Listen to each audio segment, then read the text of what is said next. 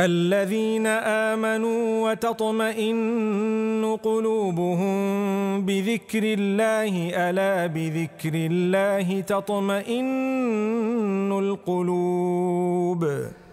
السلام عليكم ورحمة الله وبركاته. بسم الله الرحمن الرحيم الحمد لله والصلاة والسلام على رسول الله وعلى آله وأصحابه أجمعين. We praise Allah subhanahu wa ta'ala, my brothers and sisters, who has instructed us to be just. Allah subhanahu wa ta'ala has indeed instructed us to be just.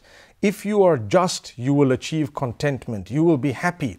When you are a person who is unjust and you engage in injustice, you can never achieve true contentment. This is why every Friday we hear a verse. It is verse number 90 of Surah An-Nahl.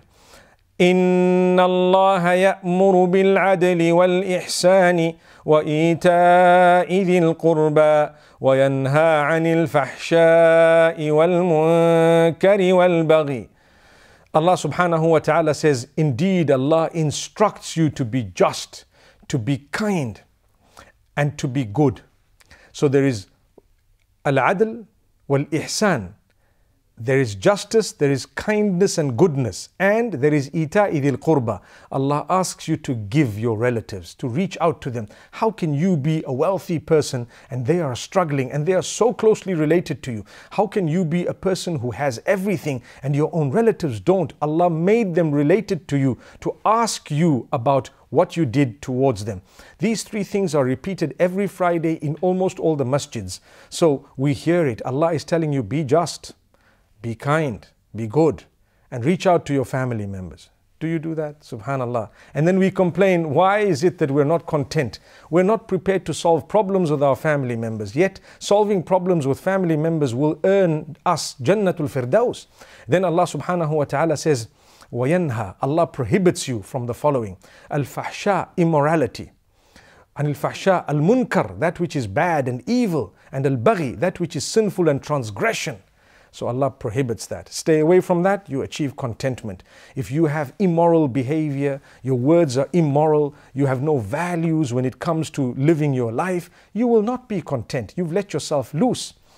No, hold high values, high morals, high standards, you will be content. Yes, it is discipline, it requires an effort, but long term contentment and even short term contentment. More than anything else, in the akhirah, in the hereafter, you will achieve a lot of that contentment. My brothers and sisters, then Allah says the immorality, the evil and transgression. Remember to stay away from it. Evil, stay away from. Transgression, that which is sinful, stay away from. These three are actually interconnected, and we ask Allah subhanahu wa ta'ala to grant us goodness. In verse number 97, Allah says, If you do good, if you believe and do good, we will improve the condition of your living first on earth. And thereafter, we will grant you paradise. So, when you do good and you believe in Allah, remember, Allah will grant you the best of both worlds. Listen to what Allah subhanahu wa ta'ala says. من عمل صالحا من ذكر أو أنثى وهو مؤمن فلنحيينه حياة طيبة Whosoever believes in Allah from male or female and does good deeds, Allah will grant them a, a life that is tayyibah, that is good, that is pure. Allah will grant them that contentment that they are searching for, a pure life, a happy life. Why? Because you've believed in Allah and you're doing good deeds. You must do the good deeds. And this is why the Mufassirin have always said, be conscious of your link with your Maker and be conscious of the way you treat the rest of the creatures of the same Maker. The common factor is He is the Maker of all of us. May Allah subhanahu wa ta'ala help us to reach out to one another. Ameen. So Allah subhanahu wa ta'ala gives us that guarantee. Then He says to us something interesting in verse number 125 of Surah An-Nahl when we are calling out towards His path, when we are calling people towards His path, towards goodness, be they Muslim, be they non Muslim, be they Jewish or Christian or any other faith, we need to understand we are actually ambassadors of Allah. We need to behave in a way that is befitting. We need to speak in a way that we recognize the person we are speaking to is a creature of the same Allah. Allah created them as a test, not just for them, but for us as well. If you're going to speak to them disrespectfully, you've insulted Allah. No matter who they are, they are the creatures of Allah. They deserve you your respect when you are speaking to them. Remember that. So when you're calling people towards Allah, you call them with utmost respect, not just respect, but with wisdom, with tact, with the best of words, with the most beautiful of arguments. So we don't insult them, we don't curse them, we don't swear them, we don't abuse them, we don't hurt them, but rather we reach out to them with total respect in a beautiful way. And this is why Allah subhanahu wa ta'ala addresses us and He says, ادع الى سبيل ربك بالحكمه والموعظه الحسنه وجادلهم بالتي هي احسن Allah says call out to the path of Allah sorry call to the path of Allah subhanahu wa ta'ala بالحكمه with great wisdom والموعظة الحسنة and the best way of speaking the choose the best way of conveying the message you will be such a content person because you'll be happy. If Allah uses you to guide one person, it's better for you than the most expensive of the camels or the conveyance on earth. Better for you than that.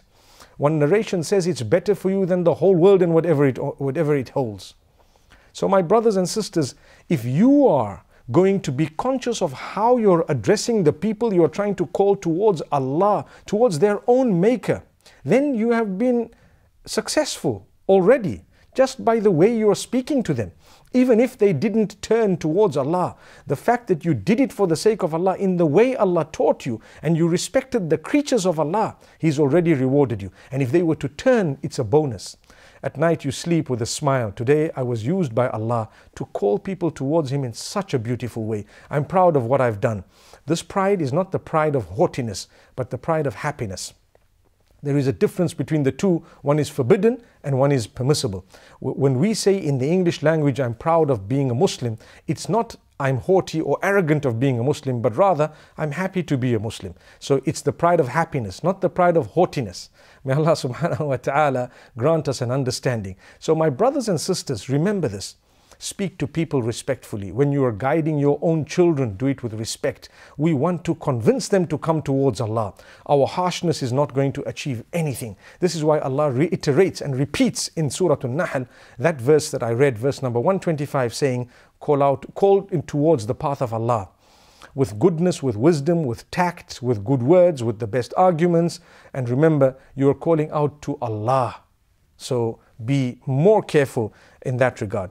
If we were to disrespect people, we lose happiness, we lose our sleep, we lose our contentment, we create problems, we cause division, we turn people further away from Allah, then we cannot expect contentment from Allah subhanahu wa ta'ala when we've turned people away from Allah subhanahu wa ta'ala. We move on to the next surah, which is called Surah Al Isra. In it, Allah makes mention of the night journey that the Prophet made from uh, uh, his house in Mecca to Baytul Maqdis, and thereafter the Mi'raj that actually took him right up to the seventh heaven. My brothers and sisters, it is called Surah Al Isra, it is also called Surah Bani Israel. In it, Allah makes mention of many facts, many points, many pieces of guidance. One of them is where Allah describes the Quran, verse number 9. Allah says, إن هذا القرآن يهدي للتي هي أقوم ويبشر المؤمنين ويبشر المؤمنين الذين يعملون الصالحات أن لهم أن لهم أجرا كبيرا. Allah says, Indeed, this Quran guides to the best of paths, the straightest path, and it gives good news to the believers, those who are conscious of Allah subhanahu wa ta'ala, that for them will be a great reward. So, this Quran is a guide. Do you take it as a guide? If you do, good news to you. Do you give it its importance? If you do, good news to you. In the month of the Quran, How much of the Quran have you learnt? How much time do you spend with the Quran on a daily basis? It is the manual that Allah sent you and I, the manuscript through which you will achieve the success of this world and the next. It will lead you to the sunnah of Muhammad sallallahu alaihi wasallam. You will follow the hadith, the blessed path of the Prophet, peace be upon him, and you will be able to walk through a path that will lead straight to Jannatul Firdaus. May Allah grant us contentment in this world and may Allah grant us paradise in the hereafter. Ameen. Thereafter, verse number 18, Allah subhanahu wa ta'ala speaks about those who want only this world and they have forgotten about the hereafter.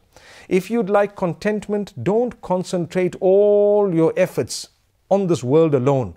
My salary, my job, my money, my house, my car, my clothes, my perfumes, etc., etc. What about my akhirah? What about my hereafter? What about my paradise? My prayer, my consciousness of Allah, reaching out to others, earning the Jannah, etc., etc. What about all of that? So Allah says, من كان يريد العاجلة عجلنا له فيها ما نشاء لمن نريد ثم جعلنا له جهنم Whosoever wants only that which is immediate, which means this worldly life, Man kana yuridu al Whoever only wants this worldly life that is right now, Allah says, عَجَّلْنَا لَهُ فِيهَا مَا نَشَاءُ we will grant them from it to whomsoever we wish and to whatever level we wish. And in the hereafter, they have Jahannam. They have a torment waiting for them.